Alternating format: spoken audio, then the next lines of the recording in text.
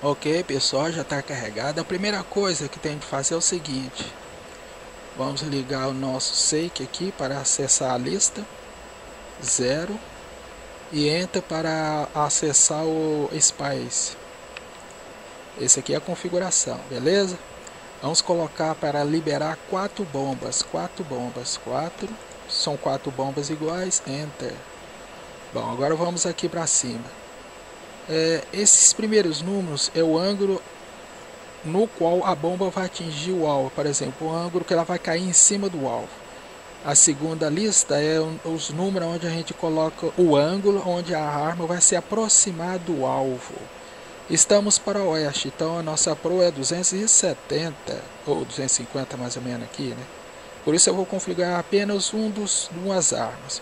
Os pilones 3 e 4, 6 e 7 são representados pelas armas aqui, ó. 4, 6, 3 e 7. Essa sequência de A e de 1 aqui não há necessidade. Por isso vamos configurar aqui, porque o nosso alvo está chegando. Vamos lá.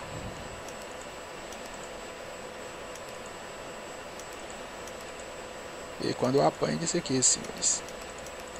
Beleza, o primeiro ângulo já está definido aqui numa listinha mil, é 20. Enter. Desce. O próximo é 35. Enter. Desce.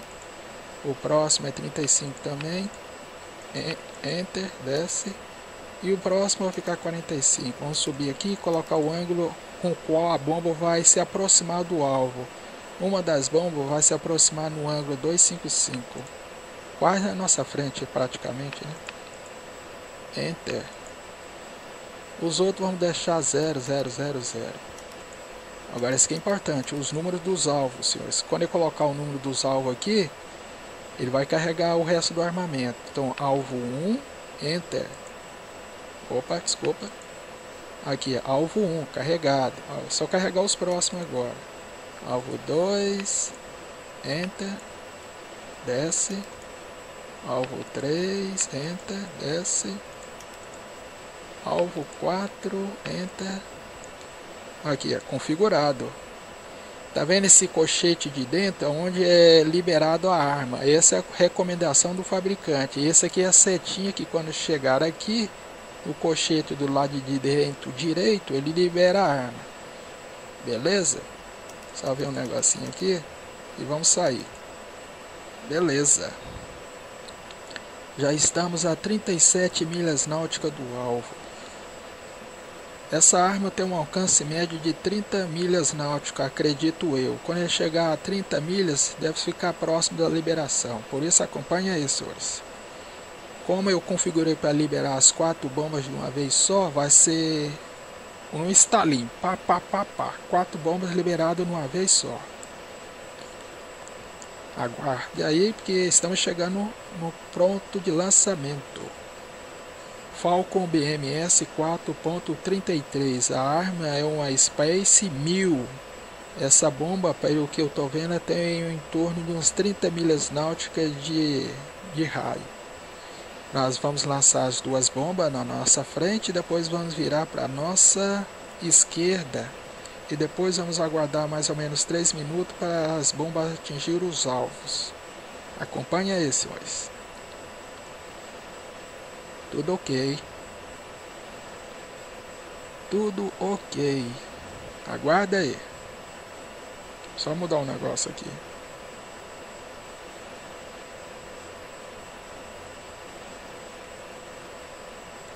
Ficou melhor agora. 28 milhas náuticas. Ah, eu acho que é por causa da altitude eu acreditei que ficaria em torno de uns 30 milhas. Pelo que eu estou vendo aqui, vai ficar em torno de 20. Da próxima vez, o próximo lançamento, vamos aumentar a altitude para 30 mil pés. Talvez a bomba alcance uma área maior de distância. Tá quase na distância de um Maverick, filho. 20 e poucas milhas náuticas. Opa, tá chegando para liberar. Aqui o cochete, ó. Praticamente vocês poderiam liberar. Vamos liberar só para ver se as bombas acertam os alvos? no alcance máximo, com essa altitude de 18 mil pés. Lá vai.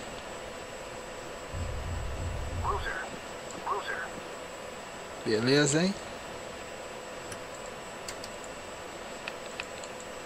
Vamos virar a nossa esquerda.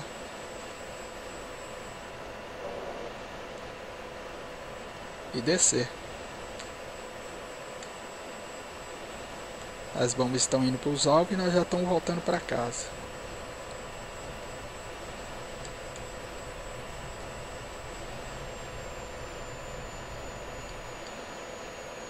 Se o alvo estiver desprotegido, essas bombas é, é, tem alguma eficiência satisfatória, mas se não tiver, filho, você tem que fazer tripa do coração, viu?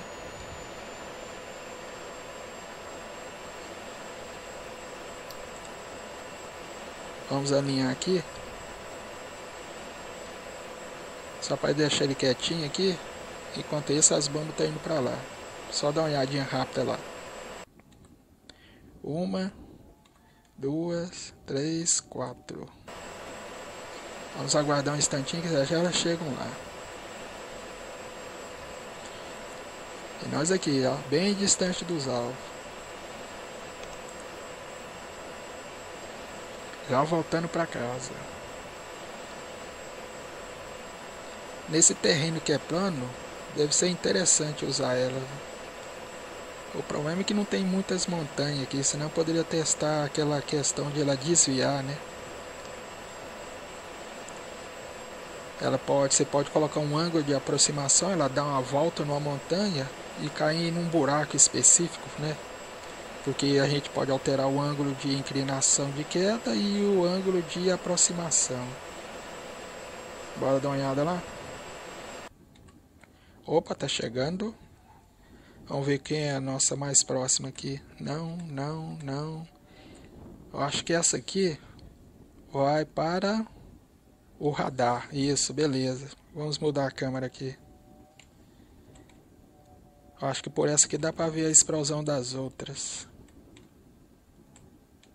Opa.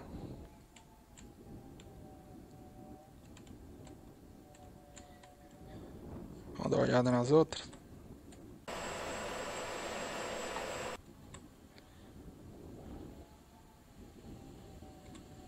Essa tá mais alta, né? Dessa, essa aqui tá mais próxima. Essa não, vamos dar essa, essa aqui, ó. Tá mais alta, ou tá mais longe, tá mais distante. A que tiver mais longe, espera aí. Aí essa deve ser do ângulo 255. Tem bem provável que vai haver algumas explosões antes dela. Vamos ficar nessa aqui. Vamos mudar a câmera. Opa.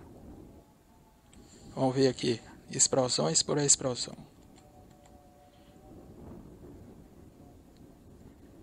Essa aqui deve ser a última bomba, espero eu. Aqui à nossa esquerda tem a antena do radar. Ali no meio deve ter o depósito de munição e a torre de controle. Vamos ver, vamos ver. Olha lá, uma duas, três. É, deu para ver a explosão? Essa aqui deve ser a última. Desceu o paiol de munição, eu não me lembro. Não, essa aqui é a torre de controle. É isso mesmo, a torre de controle, olha lá. Você vê ela descer? Olha lá. Uhul, cara do céu. Parece festa de São João, filho. Gostei. Imagina essa arma no sistema de penetração. Deve fazer um efeito grande. É isso aí. A próxima munição será Space 1000 de penetração. Deve ser um estrago feio. Olha. É, os gráficos aqui tá bom.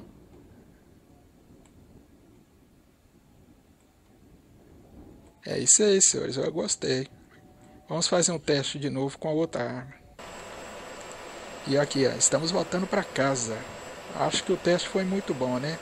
Então vamos fazer um próximo teste com a Space 1000 de penetração. Vamos achar um alvo mais fortificado, né? Aqueles alvos ali é fichinha, né? Para um MK83. É isso aí, pessoal. Valeu. Fui.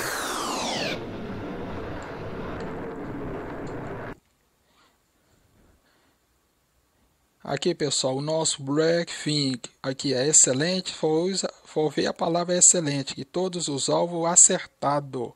A arma é boa, senhores. Valeu!